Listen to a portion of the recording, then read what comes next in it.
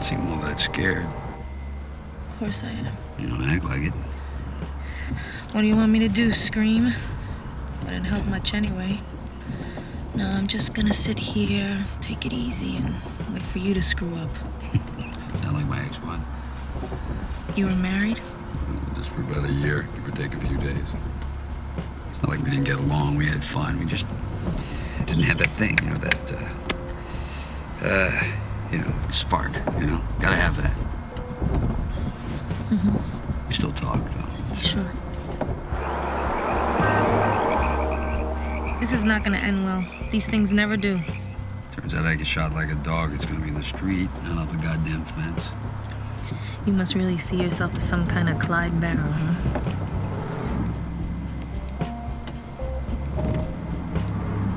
You mean a Bonnie and Clyde? Yeah. Yeah, yeah.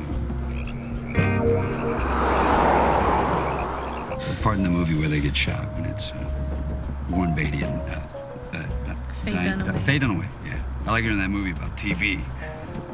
Network, yeah, Yeah. she was good. Yeah. That guy says he's not gonna take any more shit from anybody.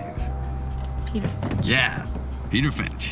Not any, uh, uh, mad as hell, and I'm not gonna take any more of your shit. I mean, that part where they get shot, I remember thinking to myself, that wouldn't be such a bad way to go if you had to.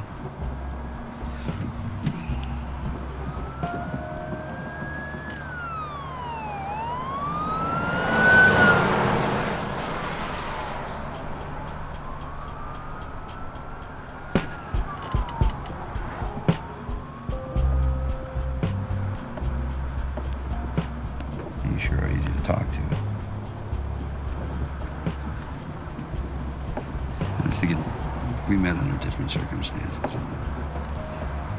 You were at a bar, and I came up, we started talking. wonder what would happen Nothing. if you didn't know who I was. You'd probably tell me. I'm just saying if we met under different circumstances. You have got to be kidding.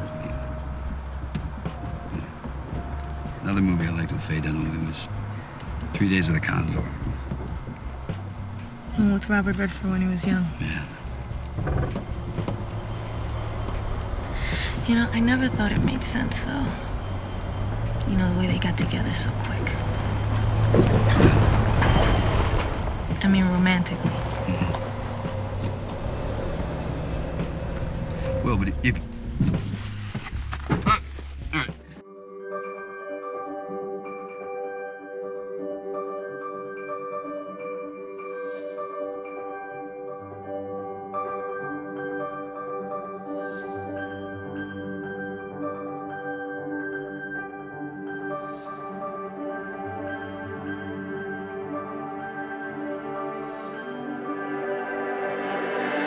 Thank